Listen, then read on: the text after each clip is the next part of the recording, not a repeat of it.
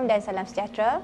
Nama saya Nurul Yusmahani binti Ahmad dari Sekolah Menengah Sains Tun Syed Syekh Syahabuddin, Bukit Mertajam, Pulau Pinang. Saya mengajar mata pelajaran kimia tingkatan 4 dan 5. Saya menggunakan teori konstruktivism di mana teori ini kita mulakan dengan set induksi. Dalam set induksi tujuannya adalah untuk menarik minat pelajar kepada topik yang kita akan ajar pada hari ini. Okey, jadi dalam uh, pengajaran saya pada hari ini, saya uh, memasukkan uh, serbuk natrium bikarbonat ke dalam larutan cuka. Kemudian botol tersebut ditutup dengan penutup yang diikat kepada belon. Kemudian belon mengembang. Jadi kita tahu bila belon mengembang tu ada gas yang terhasil. Jadi student bila dia tengok oh, dia sangat dia akan jadi teruja. Uh, kenapa tiba-tiba belon mengembang? Dan uh, keadaan ataupun situasi ini menggalakkan pelajar untuk lebih mengkaji uh, apakah fenomena yang berlaku di sebalik tindak balas tersebut ataupun apakah um, uh, tindak balas uh, yang menyebabkan terhasilnya gas tersebut.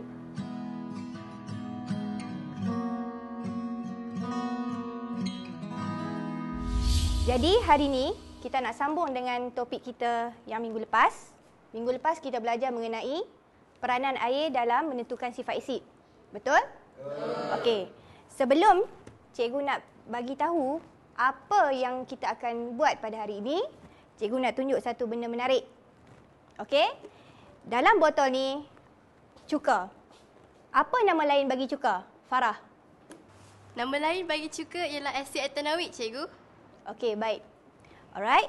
Kemudian ini adalah soda bikarbonat. Okey?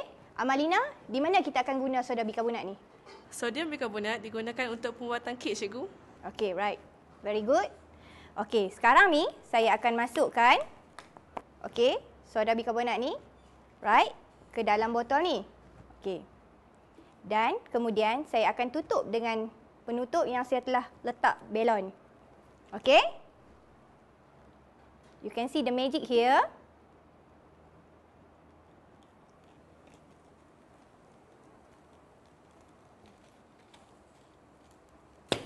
Tapi apa yang kamu nampak tadi? Apabila saya masukkan soda bikarbonat dengan cuka ni. Apa yang terhasil? Gas karbonat sidar terbebas, cikgu. Terima kasih. Sila duduk. Right. Sebenarnya, gas karbon dioksida terhasil bukan sebab react dengan water. Tetapi bertindak balas dengan asid. Kerana cuka mengandungi asid apa, Nabila? Asid etanoik, cikgu. Okey, asid etanoik.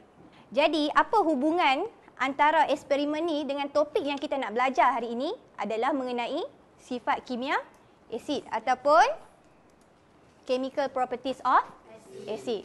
Okey. Dalam chemical properties of acid ataupun sifat kimia asid, okey. Ada tiga jenis tindak balas, iaitu yang pertama, acid react with metal, produce hydrogen gas and salt. Okey. The second one, acid react with metal oxide, produce salt and water. Okay? And the third one, acid react with carbonate metal to produce carbon dioxide, salt and water. Untuk sekarang, kita akan buat dua eksperimen. Okay? Eksperimen yang pertama, reaction of acid with metal carbonate. Dan eksperimen yang kedua, reaction of acid with metal. Okay? Saya nak eksperimen dijalankan secara berkumpulan. Okey, ketua kumpulan sila dapatkan bahan dan radas di sebelah kanan saya. Okey? Right, bergerak sekarang.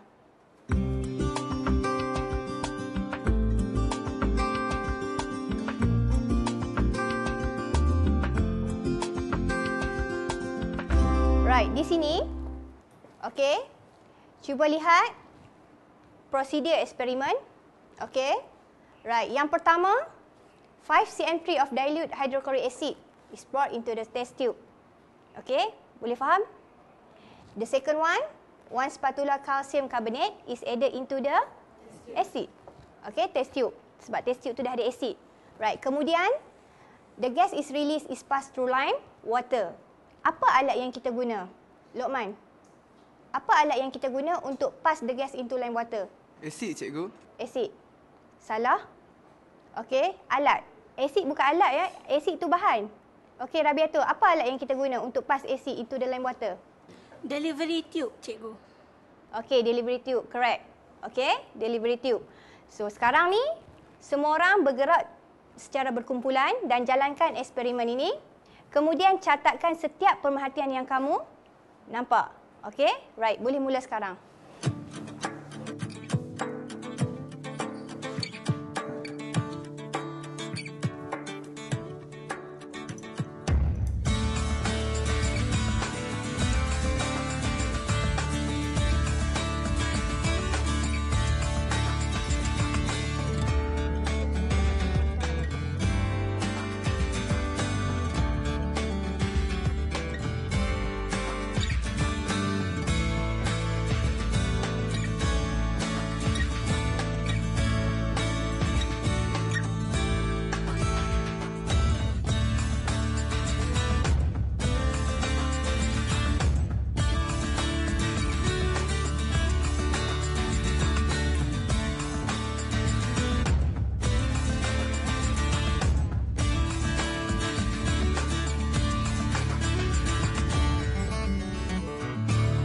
Apabila uh, pelajar uh, menjalankan eksperimen, uh, contohnya tindak balas di antara logam dengan asid. Tidak semua pelajar tahu bahawa gas yang terhasil adalah gas hidrogen. Kemungkinan ada pelajar yang menganggap gas yang terhasil adalah gas oksigen. Jadi pentingnya kita menjalankan eksperimen untuk mengesahkan adakah tanggapan mereka itu benar ataupun salah. Jadi dalam eksperimen yang kita jalankan pada hari ini, dibuktikan bahawa tindak balas antara logam dengan asid menghasilkan gas hidrogen dan garam. Okey? Tadi kamu dah buat eksperimen kan? Jadi ke tak jadi? Jadi. Apa bukti mengatakan eksperimen tu jadi? Okey, Izzat, apa pemerhatian yang kamu nampak tadi? Air kapur mengeruh, cikgu. Okey, terima kasih. Right. Fatin, ada lagi sebarang pemerhatian? Ada cikgu, kalsium karbonat melarut cikgu. Okey, terima kasih. Right, jadi itu adalah dua pemerhatian yang sepatutnya kamu dapat. Ada tak di mana-mana kumpulan yang tak dapat pemerhatian yang macam tu? Semua dapat pemerhatian macam tu eh? Okey, jadi tahniah bagi tepukan kat diri sendiri sebab okey, sebab kamu berjaya buktikan bahawa tindak balas antara logam karbonat dengan asid akan menghasilkan gas apa? Karbon dioksida. Okey, karbon dioksida. So, untuk eksperimen yang kedua, kita akan uji tindak balas antara logam dengan asid. Okey. Dora, pada pandangan kamu, adakah hasilnya sama macam tindak balas antara logam karbonat dengan asid? Tidak, cikgu. Okey, apa gas yang akan terhasil? Karbon dioksida, cikgu. Karbon dioksida akan terhasil. Eh, hidrogen, cikgu. Terima kasih, duduk. Right, okey, sekarang ni kita akan buat eksperimen antara okey, asid dengan logam. So, dalam tindak balas ni, okey, kamu akan tengok kita tuang asid dalam test tube lah. And then kamu masukkan logam. Cuma dalam eksperimen ni, eksperimen ni dah tak ada lime water macam tadi. Okey, apa kaedah yang kamu kena guna untuk uji gas hidrogen tu? Okey, Nabil. Kayu api menyala, cikgu. Okey, right. Terima kasih. Sila duduk. Right. Kita akan guna kayu uh, kayu uji menyala eh, bukan kayu api menyala, kayu uji menyala. Okey. Right. Jadi sekarang ni semua orang bergerak dalam kumpulan dan boleh mulakan eksperimen sekarang. Okey?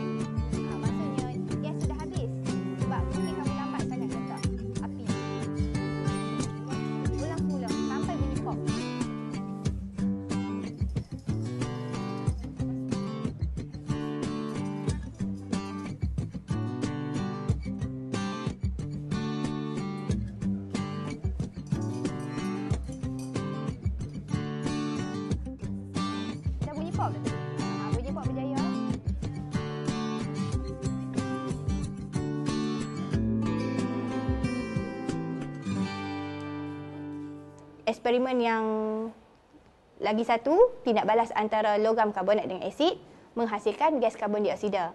Ternyata dalam tindak balas asid menghasilkan gas yang berbeza mengikut jenis-jenis bahan yang bertindak balas dengan asid. Sama ada logam maupun logam karbonat. Dari situ kita boleh betulkan sebarang uh, misconception yang ada di kalangan pelajar. Jadi kaedah eksperimen ini uh, yang saya gunakan dalam uh, teori konstruktivisme ini sebagai uh, medium uh, sebagai kaedah untuk mengesahkan uh, pemahaman pelajar lah sama ada dia on the right track ataupun tidak. Okey, macam mana dengan eksperimen tadi? Kamu enjoy tak buat eksperimen tadi? Enjoy. Okey, Mai Sarah, apa yang kamu dapat hasil daripada eksperimen tu? Pemerhatian yang kamu lihat tu? Bunyi pop terhasil cikgu dan magnesium terlarut. Okey, right. Terima kasih. Kumpulan lain ada dapat pemerhatian yang sama? Tak dapat. Okey. Rabiatul. Kenapa tak dapat? Ha, tidak cikgu sebab sewaktu Amin membuka tangan yang tangannya yang menutupi permukaan mulut test tube, gas tu terbebas. Jadi sebelum sempat meletakkan uh, kayu uh, kayu uji menyala, uh, gas tu terbebas dan tidak menghasilkan bunyi pop. Okey, right. Terima kasih. Right. Kadang-kadang bila kamu buat eksperimen, okey, uh, mungkin gas kamu tu uh, terbebas dengan kadar yang sangat cepat. Okey, jadi sebelum kamu letak kayu uji menyala tu, gas tu dah habis. Sebab tu tak dengar bunyi pop. Gas tu terhasil sebenarnya. Bukti gas terhasil bila kamu tengok ada effervescent. Apa itu effervescent? Pembuakan. Okey? Kalau kamu perasan, ada macam metal melarut. Kan ada bubbles. Okey, ada gelembung udara. Ha, itu menunjukkan ada gas terbebas. Right? Okey, kita nak buat sedikit aktiviti. Right? Dalam kumpulan kamu sekarang, okey, tiga orang daripadanya mesti bergerak ke kumpulan lain. Apa yang kamu perlu buat dekat kumpulan lain? dapatkan soalan dari kumpulan tersebut dan bincang sesama ahli baru tu. Kita panggil ahli angkat. Faham? Selepas satu minit ataupun selepas cikgu kata bergerak ke kumpulan induk, kamu pun balik kepada kumpulan induk kamu dan explain de- dekat kawan-kawan kamu macam mana nak selesaikan masalah yang kamu dapat tadi tu. Okey, faham ke? Jadi objektif kita untuk aktiviti ni nak menggalakkan kamu bagaimana membina keyakinan diri apabila kita bercakap di kalangan kawan-kawan kamu.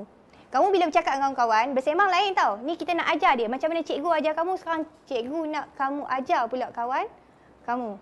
Okay? Right. Jadi kamu ada kena ada sifat bantu-membantu. Alright? Jadi kita mulakan sekarang. Okay? Satu minit dari sekarang. Bergerak. Sila buka envelope dekat kumpulan masing-masing. Cikgu nak kamu berbincang sesama ahli kumpulan. Okey, macam mana nak selesaikan masalah ataupun soalan yang kamu dapat tu?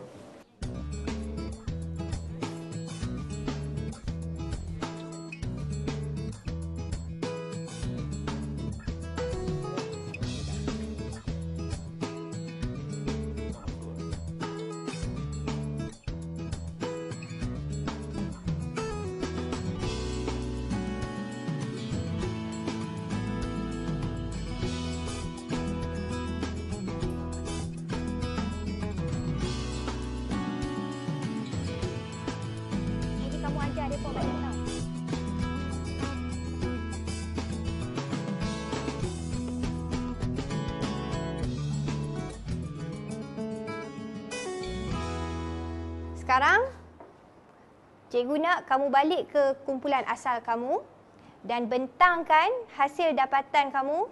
Okey, apa yang kamu dah bincang tadi, sila bentangkan kepada ahli-ahli kumpulan yang lain. Okey, gerak sekarang.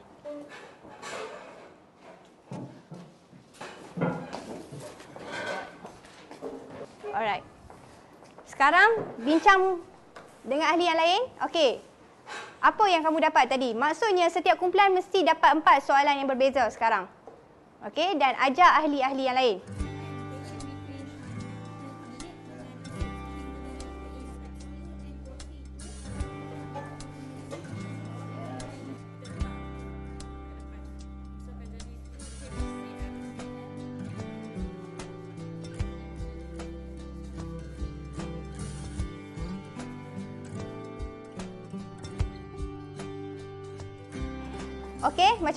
Perbincangan tadi? Okey, berjalan lancar? Alright, sekarang ni cikgu nak volunteer. Siapa sudi tulis kat depan jawapan bagi soalan pertama. Well done. Bagi tepukan dekat kawan kamu.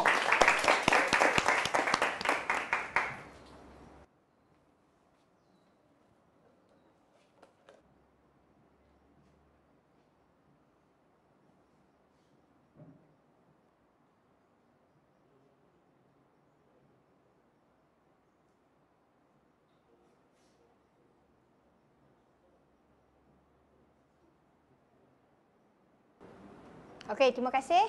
Right, kamu boleh balik ke tempat kamu. Okey, bagi tepukan lagi sekali dekat. Jadi pelajar, adakah kamu bersetuju dengan jawapan yang diberikan oleh Amirul? Setuju. Okey, right. Okey, soalan kedua. Siapa yang volunteer? Okey, Hadi. Dipersilakan. Beri tepukan kepada Hadi.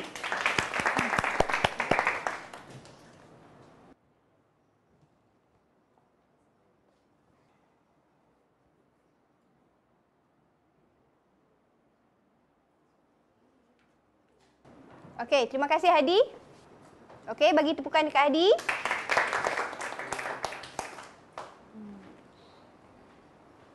Okey, adakah kamu bersetuju dengan jawapan Hadi? Setuju. Okey, right. Soalan ketiga. Ha, cikgu, Hadi terlupa letak simbol tambah. Ah, Hadi ada buat kesilapan teknikal sedikit. Okey. Right. Okey. Untuk soalan ketiga. Okey, Amin. Dipersilakan beri tepukan untuk Amin.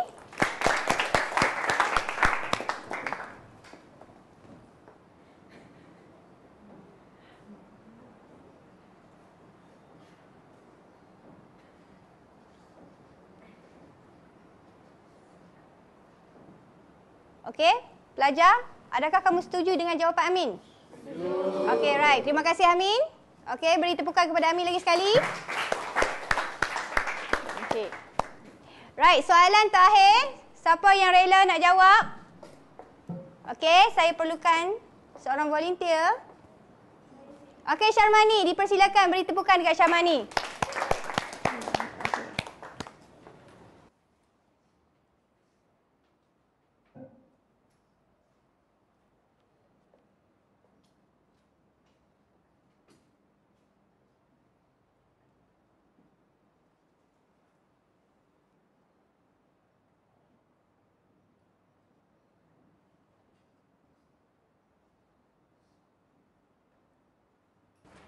Okey, adakah kamu setuju dengan jawapan Syarmani? Okey, right. Very good. Okey, bagi tepukan yang gemuruh untuk keempat-empat kawan kamu tadi. Okey.